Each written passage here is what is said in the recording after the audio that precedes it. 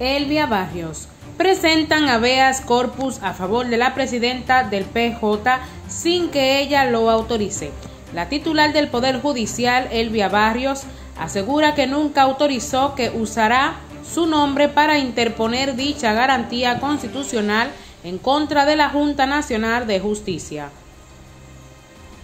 La presidenta del Poder Judicial, Elvia Barrios, denunció que ha utilizado su nombre sin autorización para presentar un habeas corpus en contra de la Junta Nacional de Justicia.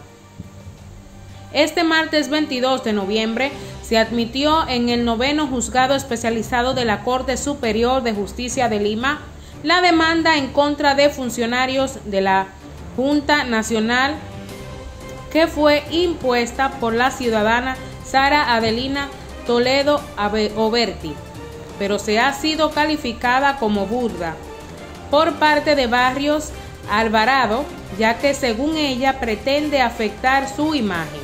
He tomado conocimiento de que se ha presentado una acción de garantías, habeas corpus, contra JNJ a favor sin mi consentimiento ni autorización, lo que perjudica mi defensa.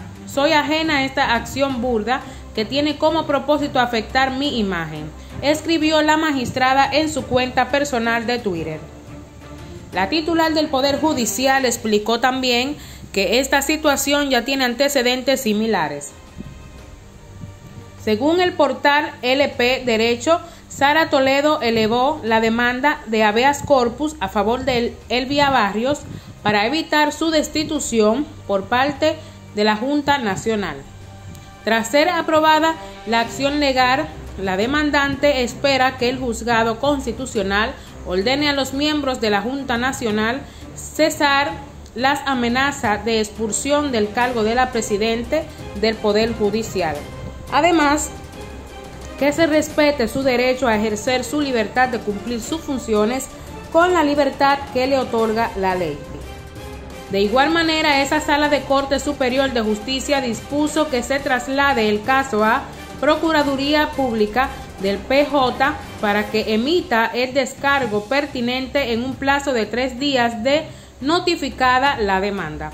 Cabe mencionar que Elvia Barrios tiene abierto un proceso disciplinario tras el informe del Consejo de la Junta Nacional Guillermo Torberri, en el que se recomienda destituirla de su puesto de jueza suprema por estar presuntamente vinculada a la contratación irregular de su esposo en el Jurado Nacional de Elecciones. Esto ha sido todo por hoy, espero esta información haya sido relevante.